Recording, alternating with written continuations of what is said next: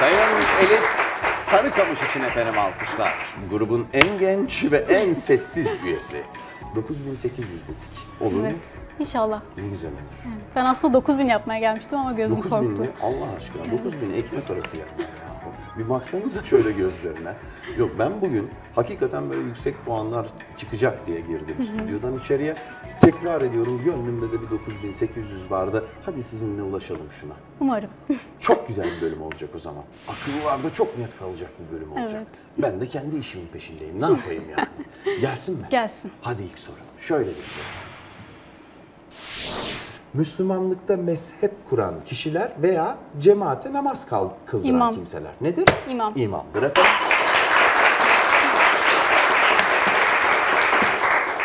Sonunda iki var o sorunun içerisinde. Çok detaya girmeye gerek yok. Kendi kendine anlatıyor soru. Hadi gel. Nasıl bir? Görmek fiiliyle bir davranışı, bir olayı bir kimse için uygun görmek anlamında kullanılır bu Farsça kökenli söz. Yakıştırmak gibi Mesela bir bana bunu mu uygun görüyorsun? şey. Layık. Dört harfli aradığınız. Reva. Reva 400 puan daha.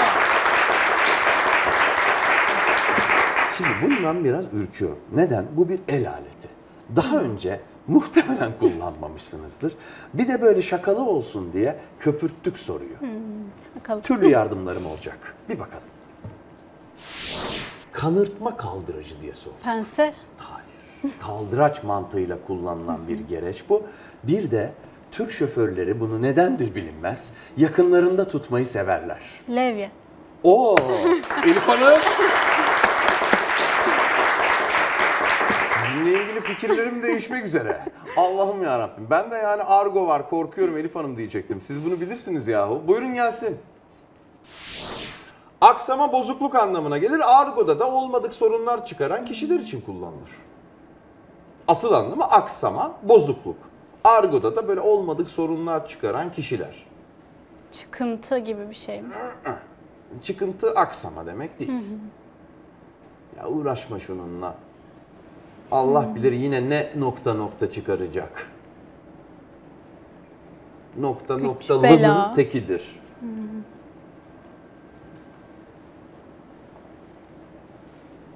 Bulursunuz. Bulursunuz. Da süreye dikkat. 1 dakika 11 arttıracağız eğer ki harf alırsak. Harf alayım. Aldık o harfi. Aksama bozukluk. Boş verin argoyu. Arıza. Arıza 400 puan değerinde. 1700 oldu kasa.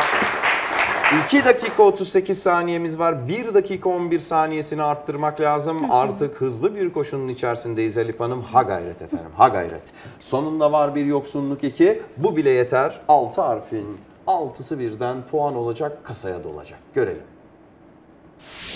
İki parçalı deniz kıyafetinin yalnızca birini kullanan kişilere yönelik bir tabir. Durdurun şunu. Durdurun ne olur. İki parçalı deniz... Üstsüz. Üstsüz! 600 puan. Diğerini zaten düşünmek dahi istemiyoruz. Buyurun yenisi geliyor efendim. Nasıl bir soruymuş? Altı harfli cevapları bitireceğimiz soruymuş. Hak ve hukuk işleriyle uğraşan daireye efendim. Adalet. Adalet. A- Tamam kök öyle de Ee, adliye. adliyedir o adliyedir 600 puan. Hadi bakalım 7 harfli. Ekler belki kafa karıştırır ama yaygın kullanılan bir kelime. Basit de bir şey emin olun. Arapça kökenli falan değil. O taraflara sakın uzanmayın. Bir bakalım. Nasıl sormuşuz? Yavaş yavaş, zaman geçtikçe, ilerledikçe anlamında bir söz.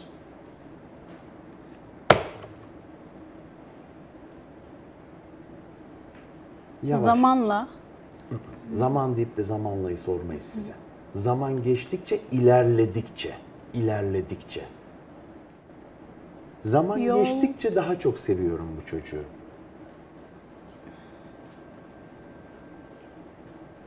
İspanyolca öğreniyordun.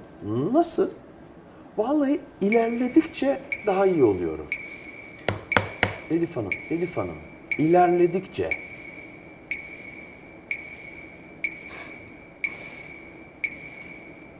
Şimdi harf alamam değil mi?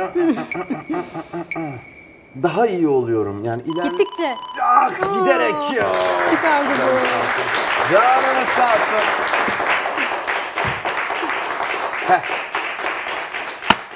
saniyem daha olaydı bile bilirdim. değil mi? Değil mi? Biraz daha rahat etmek gerekiyordu efendim. Galiba Evet. o stres biraz Galiba, omuzlarımızı evet. birbirine yakışlaştırdı. çok büyüktü çünkü. Tamam boş verin. Tamam, boş eğlenelim verin. bundan sonra. Güzel bir performans sergilediniz buraya kadar.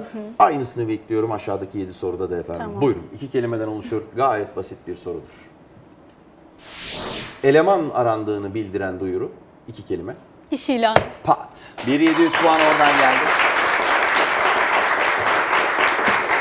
Fransızca kökenlidir bu efendim. Kökeni pek bilinmez ama şöyle soru verdik. Alim kisvesine bürünmüş dolandırıcı. Harf alayım. Sanki yani bu konuyu biliyormuş gibi filan. Ama nokta noktanın Şarlatan. işte o kadar şarlatan. İşte 8 harflerin sonuncusudur. Batı kökenlidir elbette. Elif Hanım hiç harf almayacak burada. Adım gibi eminim. Elemeli yarışmalarda sona kalan iki takım veya kişiden her biri için kullanılan söz. Yarıştılar, yarıştılar, elediler rakiplerini. En sona ikisi kaldı. Ne diyoruz onlara? Harf alayım. Batı kökenli bir kelime. Yani sonuncular. Finalist. Finalist. Gayet güzel. Mesela bu iş ilanı. Tertemiz 700 puan emindim. Belki şarlatanda biraz nefes alacaksınız ama harf almadan cevap vereceksiniz ondan da emindim. Moraliniz bozulmasaydı o finalisti de siz harf almadan cevaplardınız. Fakat bu 9 harfli yok mu? Çok basit olmasına rağmen daha önce sorduğumda hep harf aldırdı bu soru. Dur bakalım, bakalım. siz harf almadan cevaplayabilecek misiniz? İşim işi çözüme ulaştırarak bitirmek. Sonuç. Tek sonlamak. Tek kelime. İşi çözüme ulaştırarak bitirmek. Ne yaptın o işi? Merak etme o işi ben. Noktalamak gibi bir şey. Merak etme. Halletmek. Halletmek. Tebrik ederim. Ve hemen 900 puan birden beklediğim iki kelimeden oluşan, cevabı iki kelimeden oluşan şu soruya geçerim. Bir mekana kalabalıktan önce girip oturulabilecek Yer kapmak. en uygun mevkiyi kendine veya başkasına ayırmak, yer kapmak. İki tane sorun var. Birini daha önce olduğu gibi aynen bu şekilde sormuştuk. Belki de izlediğiniz bir bölümdü. Bakalım. İnşallah öyledir.